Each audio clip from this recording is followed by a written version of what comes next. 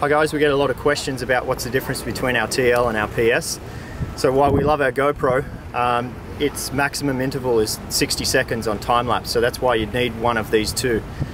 So what's the difference between the two? Not a lot. They both use the 30 pin connector in the back of the GoPro. They both wake up the camera to save on battery life.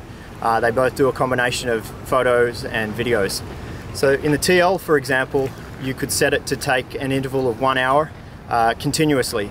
But of course you're going to get the nighttime shots and the weekend shots. So if you want something a little more powerful, then that's where the scheduler comes in. So you can pick up to 17 different schedules and uh, again a combination of photos and videos. Uh, for example, you could program it Monday to Friday, 9 to 5. Uh, so it has that little bit of extra power.